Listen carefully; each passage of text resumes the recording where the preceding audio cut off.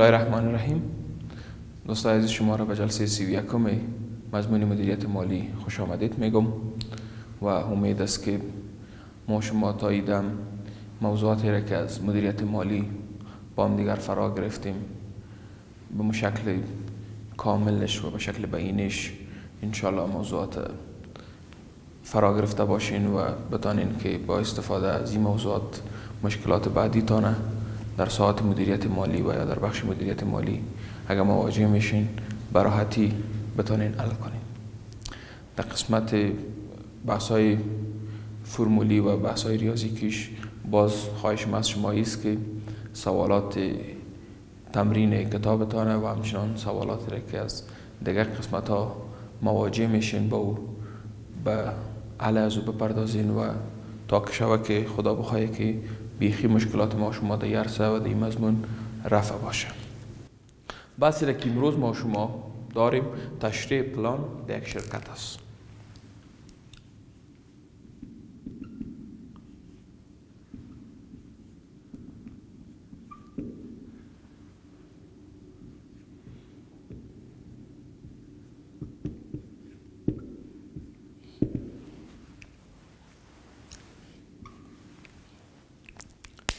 تشریح پلان در یک شرکت بحثش است که ما شما با شرح دادن و یا تشریح کردن پلان مخصوصا پلان های مالی شرکت می‌خواهیم که این موضوع را بازگو کنیم که ما شما با کدام اساس و با کدام انواع می‌تونیم که پلان طرح کنیم و در کل پلان ها چگونه طرح میشن و اهداف اساسی از پلان ها چیست و این پلان ها کدام موارد و کدام بخش را در بر داره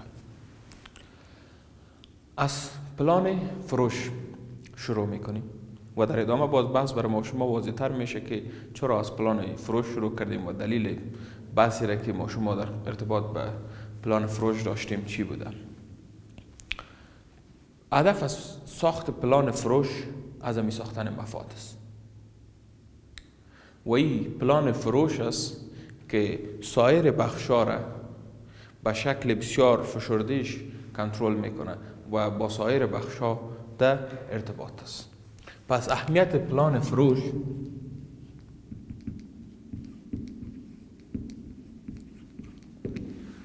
در یک شرکت بسیار زیاد است.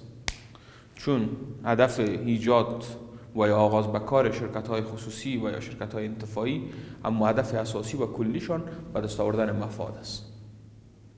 و امی به دست آوردن مفاد و یا عظمی ساختن مفاد توسط طراحی منظم پلان فروش ممکن است. وقتی که سازمان یا یک شرکت پلان فروش منظم داشت باز می‌تونه که مفاد خودم عظمی بسازه می‌تونه که به رشد و توسعه خودم برسه و خلاصه اما اهداف نهایی خودم می‌تونه که برش دسترسی پیدا کنه. پلان فروش سایه ارتباطش با دیگر پلان هم ایجاد میشه. وقتی که ما شما پلان فروش طرح می‌کنیم فرض می‌کنیم به طور مثال ما شما پیش بینی می‌کنیم در پلان فروش خود که بر از این دوره هزار واحد جنس یا کالای تولید شده خود ما شما باید فروش به فروش برسانیم. این مینجاست که رابطه بین پلان فروش و سایر پلان ها یا سایر دیپارتمنت ها ایجاد میشه.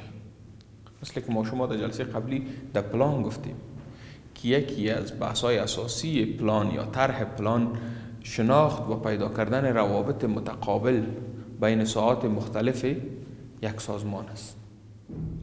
که ما شما باید تی ساعات متفاوته روابطشان بشناسیم و پیدا کنیم که یا با دیگر چی گونه رابطه دارن. حالا در بحث فروش. ما شما به می روابط باید مشخص بسازیم. تا که ما شما تولید نداشته باشیم. فروش انجام داده نمی‌تونیم. پس یک رابطه ایجاد شد بین پلان فروش و پلان تولید. که ما شما به اساس پلان فروش خود باید پلان تولید رو طراحی کنیم. تا که مواد خام تهیه نکنیم تولید انجام داده نمی‌تونیم. پس این یک رابطه ایجاد شد بین پلان فروش و پلان تهیه. که مواد ما شما چگونه تهیه کنیم. از کجا تهیه کنیم؟ پس اینمی رابط متقابل بین سایر بخش های یک سازمانه. ما شما در پلان ها در پلان هایش می‌تونیم که ببینیم. قسمی که گفتیم که در پلان فروش هدف ما شما از ازمی ساختن مفاد است. یه ازمی ساختن مفاد ما شما در صورت امکان پذیر ساخته می‌تونیم که ما شما تولید کنیم. تولید ازمی بسازیم. چون فروش که ازمی نسازیم مفاد ازمی نمیشه. پس برای ازمی ساختن فروش ازمی ساختن تولید ضرورت است. و برای ازمی ساختن تولید ازمی ساختن مواد و یا امکاناتی که برای تولید ضرورت است ازمی ساختن از اونا ضرورت است. پس یک رابطه بسیار نزدیک و تنگاتنگ بین پلان هایی که در سازمان طرح میشه وجود داره.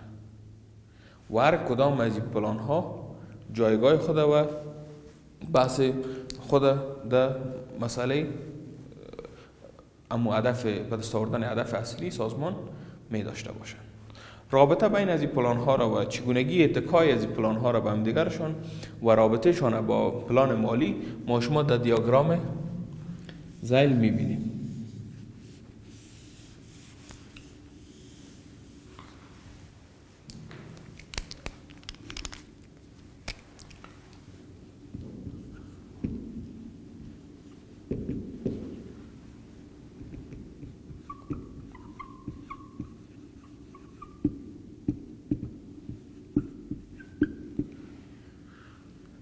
رابطه بین پلان های مختلف شرکت در دیاگرام زیل ما شما می‌تونیم که نشان بدیم.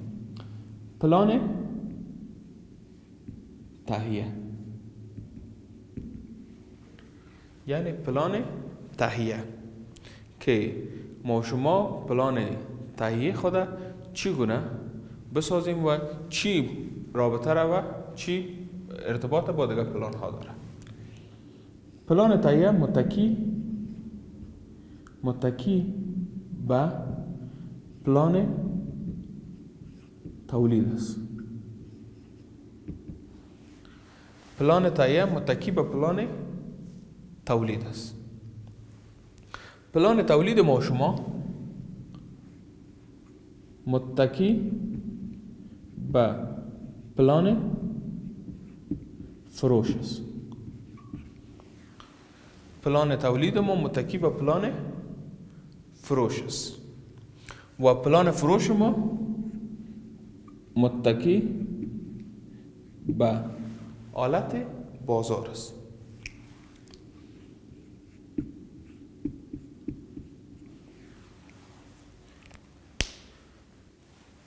در این دیاگرام ما شما پلان ها را و روابط متقابلشان به وضاحت دیده می‌تونید پلان تهیه متکی به پلان تولید پلان تولید متکی به پلان فروش و پلان فروش متکی به حالت بازار.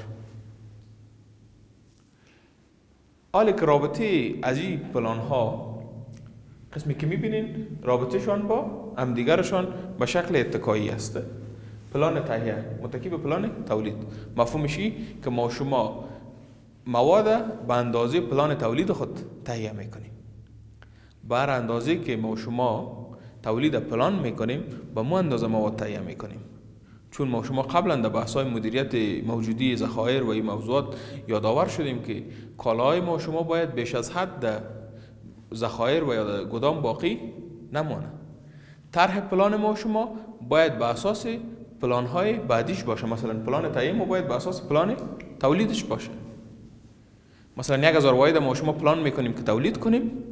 این هزار واحد باید برش اجناس تهیه کنیم. یا نهایتش صد واحد اگر مد نظر بگیریم اضافه یا کمتر.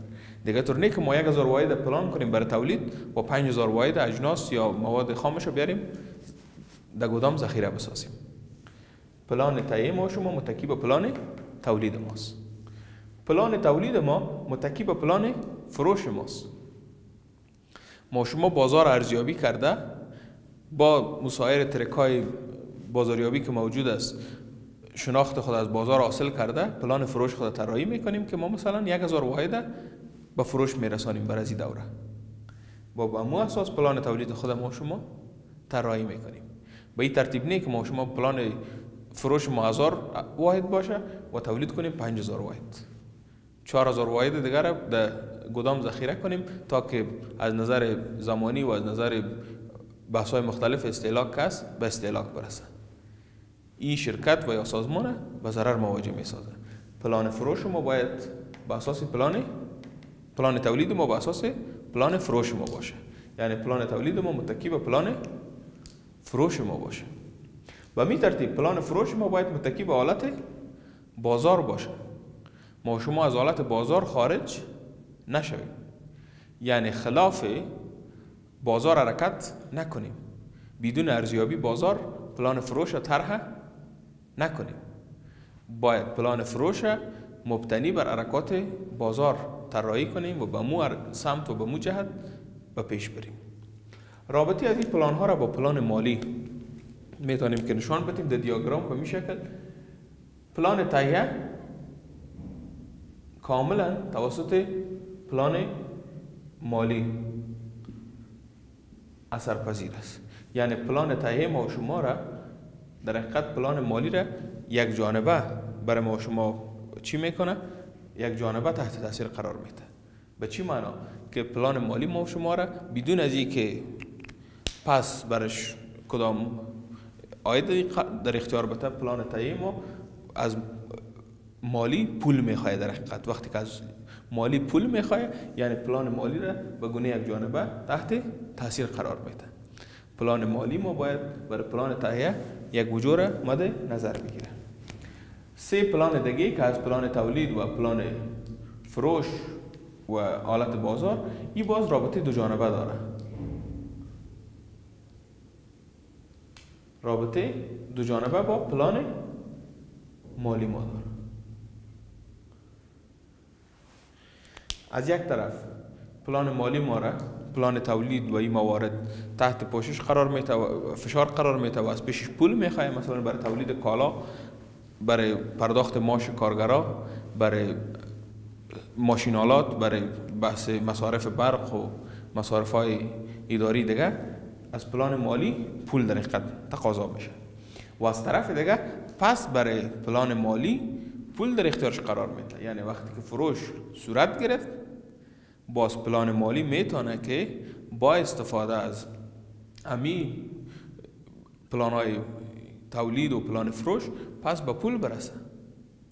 یعنی کالایی را که تولید کرده در پلان تولید و کالایی را که به فروش میرسانه در پلان فروش پولی که از درک فروشات در اختیار سازمان قرار می‌گیره پلان مالی را پس تقویه می‌کنه روابط ذات البینی بین پلان ها را ما شما دمی دیاگرام می‌تونین دیده و تشریح کردیم و شما این بحث می‌تونین که در کتابایتان هم در دیاگرام کس ببینین و تشریح داشته باشین. قسمی که ما شما بسیار به شکل واضح ای را بیان کردیم. و بحث دیگه که از پلان های قسمی را ما شما باید به اساس قلت مد نظر بگیریم. یعنی در جایی که احساس کمبود ما شما می‌کنیم یا در جایی که ما شما باید مطابق با اون حرکت کنیم یا احساس تنگنا می‌کنیم باید از اونمون قسمت پلان قسمی خود شروع کنیم. که اینمی را گوتنبرگ عالم عالم مالی به نام پلان تعادل نامگذاری کرده. امی حالت تنگنا که ما شما باید با استفاده از او پلان خود طرح کنیم. و در قسمت شرکت چون در وقت فروش ما شما عرضه ما دائم از تقاضا بیشتر است ما شما باید پلان قسمی خود از فروش شروع کنیم. چون در قسمت پلان فروش تنگنا وجود داره و به اساس پلان فروش ما شما باید تمام مراحل با پیش بریم. در دیاگرام زیل و در کل ما شما به تشریح پلان پرداختیم که برای پلان ما شما باید پلان فروش خود به اساس پلان های کمپانی با اساس موضوعاتی که در کمپانی هست و از امی ساختن مفاد است ما شما طرح کنیم و پلان فروش بدون در نظر گرفتن پلان تولید طرح کردن نمی‌تونیم. و پلان تولید بدون در نظر گرفتن پلان تهیه طرح کردن نمی‌تونیم. پس کل این موارد و روابط ذات البینیشان باید در نظر گرفته و یک پلان جامع طرح کنیم و داشته باشیم. خدا کنه که از این بحث موضوعات لازمه فرا گرفته باشین. تا جلسه بعد خداوند یار و مددگارتان.